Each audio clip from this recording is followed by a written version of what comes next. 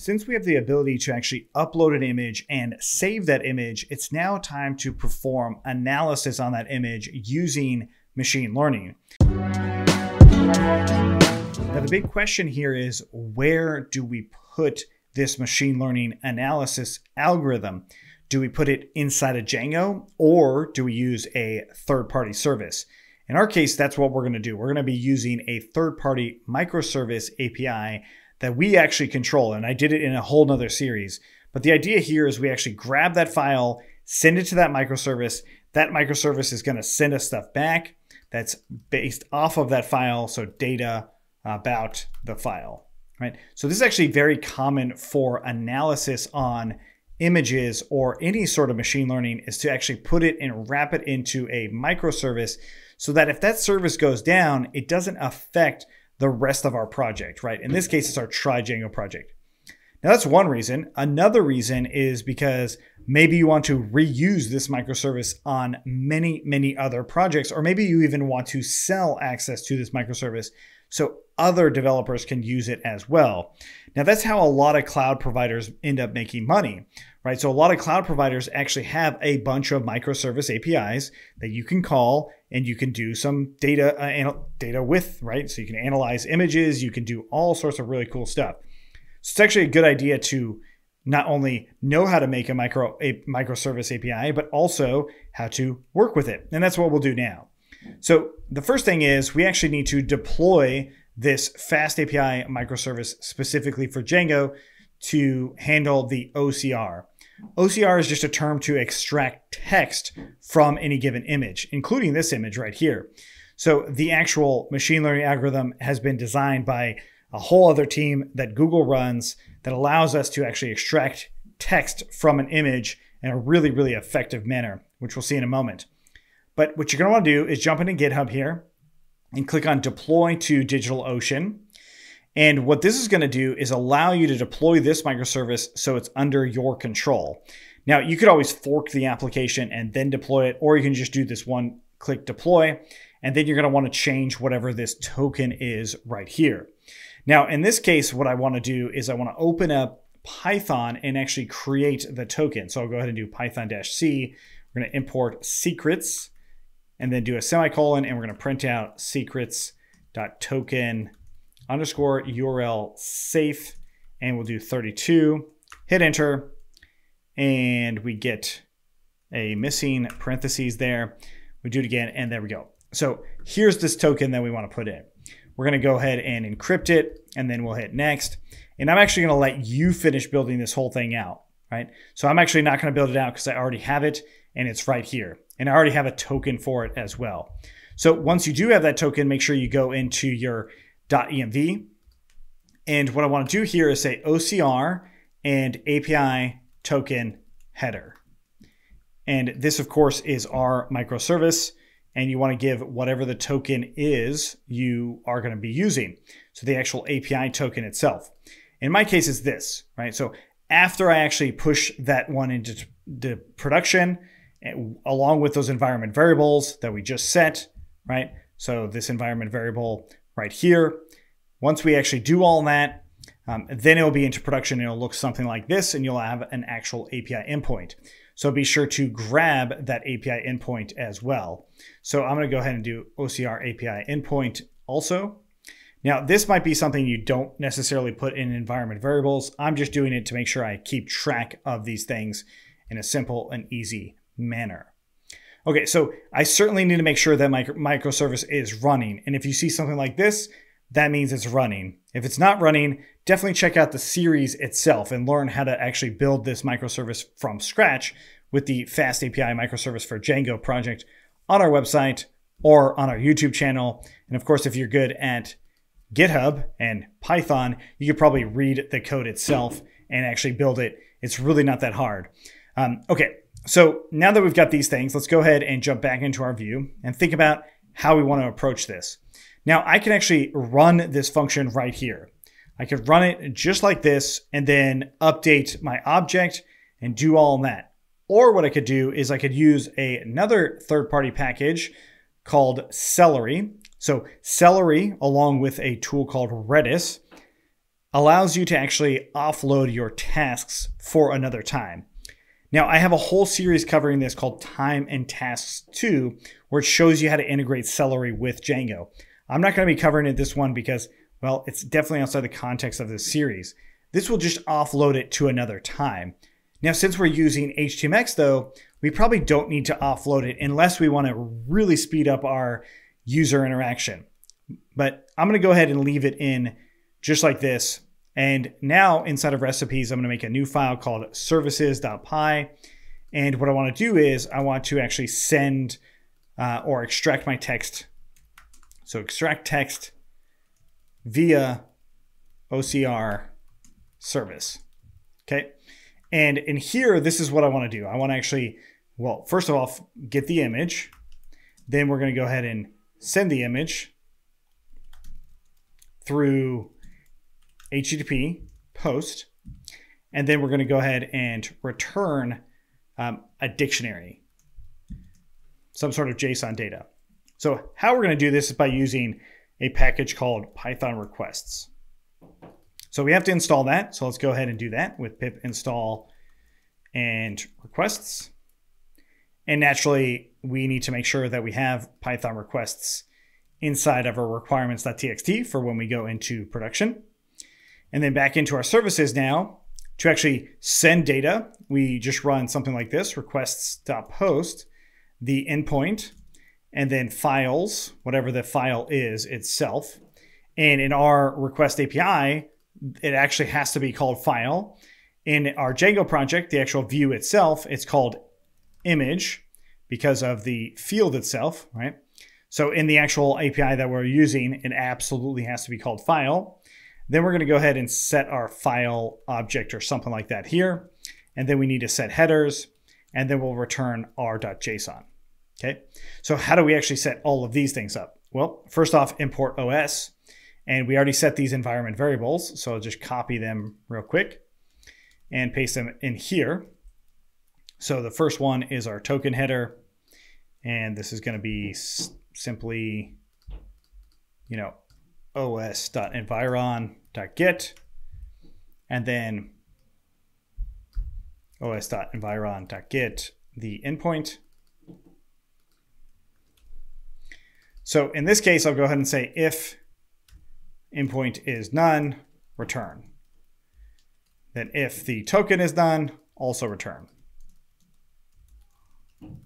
Okay, so that's just basically saying, hey, we don't necessarily have to have this working for the rest of it to work. So the actual endpoint now is going to go in here. And then the token header, what we want to do is say headers equals to a dictionary of headers. The authorization header is the header we need to use for this endpoint. And it's going to be a bearer token along with the actual token header. And then we add in this two headers. Okay, so this function overall is ready to use. Of course, now we need to actually do the file object. What is the file object, or at least what's the file object type? So if we import from django.core.files, we're going to import the file class. This is really an optional thing that you can do. This is just adding in type hints for this file object. It's not really verifying this itself. Now this file object is exactly what inside of obj.image actually is. The obj.image is an image version of this, but obj.image is a file object, okay, at its root. So that means that we can actually pass this into this service. So I'm going to go ahead and do that by importing it. So scroll up a bit and do from.services,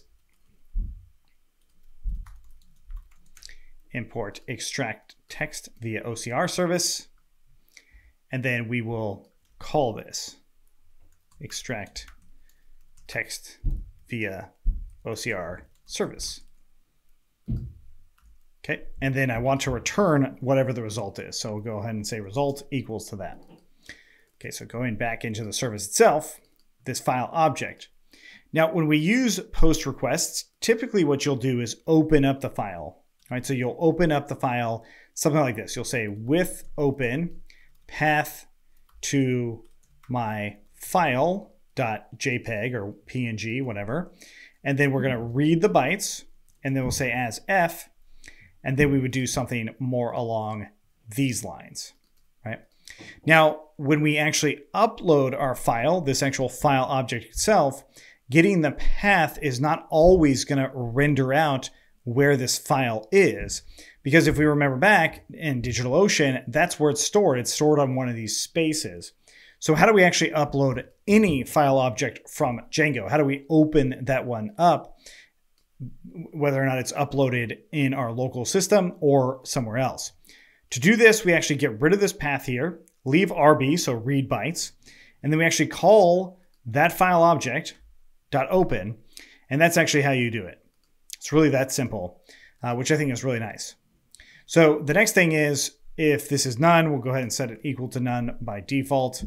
We will also say if file object is none, we'll just go mm-hmm. ahead and return none. In fact, I'm going to go ahead and return an empty dictionary because I basically always want to return something in this case. So no matter what it is, we're going to return data. Okay. And so that means then if R, that status code in range 200 to 299, then we can go ahead and say that data equals to r.json. Now, another thing we could probably check or verify because r.json means that this is JSON data, which we'll see in a second. But we can also say if r.headers or get content type, and this is going to be equals to application JSON, then we can actually return JSON as our data. So these are the response header. This, this R is for response. This one is for our request. Okay, simple enough overall. There's uh, several steps to get here, but overall it's simple enough. So now back into our view, let's actually print out what our result is. So we print out this result. Let's go ahead and go back into our project. So localhost 8000 into our image upload. Okay, so I anticipate some sort of error happening here. It's going to be surprising if there's no errors. And I'm going to navigate to my desktop where I have these images with text in them. We can use any of those. I'm going to go ahead and upload this image. Um, it looks like it's uploading but it's hard to it's hard to tell if it's actually working. So let's go back up to Python. In this case, I get an actual endpoint failure. Okay, um, and so the .env is why. Right here, I actually don't have it as HTTP colon slash slash. So we definitely need to make sure that we're using the proper full URL endpoint, which is essentially what this is saying, invalid URL. Okay, so let's go ahead and try that again. Uh, something important to note here is that's almost like as if the microservice was down, but that image would still have been uploaded, which you could obviously verify um, and try out yourself. Okay, so now we're going to go ahead and upload a new one. This time it uploads, but we're still getting that same problem. So let's go ahead and actually restart the server because I actually did change uh, my environment variables and I should have restarted the server in the first place. So here we go. We're going to go ahead and upload an ingredients file. It's going to take a moment for it to actually finish. Now, this is part of the problem of how our current JavaScript works, uh, but now it's done, right? So it actually did finish. And what do you know? Here are the actual results for it. Uh, this is actually pretty awesome that this is how simple it is to actually use a third party API. So naturally, what I need to do now is actually use this data here. In other words, I need to store it. So I'll go ahead and say extracted not text this time. We'll do models.json field. And we'll go ahead and say blank equals to true and null equals to true. And the JSON field, what that's going to do is it would actually store JSON data for us, which we'll see in a moment. But now that we've made some changes to our models, let's go ahead and run python manage.py, make migrations, and then python manage.py migrate. Okay, and then from that, back into our view, I'm going to go ahead and say obj.extracted equals to result, obj.save. And now we'll go ahead and instead of printing out the result, we'll print out obj.extracted. Okay, so let's try this again. And I also want to open up my admin here so we can actually see any given result. Okay, so we would be on object 14 if we uploaded a new one. Let's do that. This time I'm going to just try this Docker image. Let's see here, Docker logo. And we refresh in here. We've got 14 and we get nothing from the results here. Okay, no big deal. Uh, if we look at the image itself, it actually is that Docker image. Okay. Now what we're going to do is use the ingredients, hit upload image,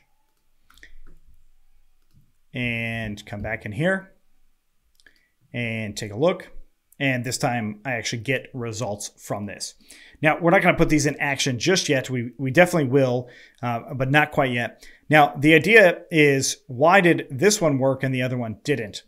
Now, um, this is why I actually want to store the images and get the extracted results so I can actually see what's going on with this data, right? So this does send something back. It's really not usable. These are escape Python strings. But the thing is, the image itself does have some data in here. Uh, but this one is actually a transparent, it has transparency to it. So now what I'm going to do is take a screenshot of it, the exact same thing. Now, hopefully, no longer transparent, or at least it shouldn't be, which I could verify on my desktop by opening this up. Here's my screenshot. Uh, it, it looks like it's still sort of transparent on my machine, um, but it's definitely not, right? So kind of hard to tell with those two, but there's definitely a color there, color difference between the transparency. Now let's go ahead and give it a shot. Now, this may or may not still, this still might not work, right? It still might not actually pull out the thing that I was looking for, but it definitely might. So let's go ahead and take a look. This should be 16 now. And yet again, it still fails. Okay, so this OCR algorithm isn't perfect at all, uh, but it will pull out some text in many places. So we can also try, let's try our hello world string here. I'm gonna go ahead and copy this right here. And then I'm gonna go ahead and upload that one. So that one is just a simple screenshot. There we go. Upload that. Come back in here, go to 17, hello world. Okay, so again, another reason to start actually storing this data is to not only get the image itself, but also to get what the extracted images are so we can improve that microservice if it's even possible to improve. So with that Docker one, I want to try it one more time. This time what I'm going to do is open it up and I'm going to make it a little bit smaller and add some more color around it. So perhaps this will actually help extract that image based off of what it currently looks like, okay? Or what this current, you know, microservice is. So we'll go ahead and copy that, hit upload image, takes a moment, and here we go. Still nothing. Okay, so it really just does not want to extract the image from this. So that, of course, is a long-term area of concern for this particular microservice, but all of it's free. The only thing that's not free is the actual services that are running, but even those are free because we have that trial credit. So the ways to improve this would be to extract this image and update the data down the line using Celery because then we can actually, you know, delay this from happening. Because if for some reason our microservice is getting a lot of requests, this might actually end up taking a while um, it's actually pretty fast as it is right now on my machine, uh, but it certainly could take quite a bit longer than that. Um, so that's implementing our FastAPI microservice um, along with our Django project here, and we now can extract text from there. So of course the actual results themselves have not been shown up. So we actually want to use those results inside of something else.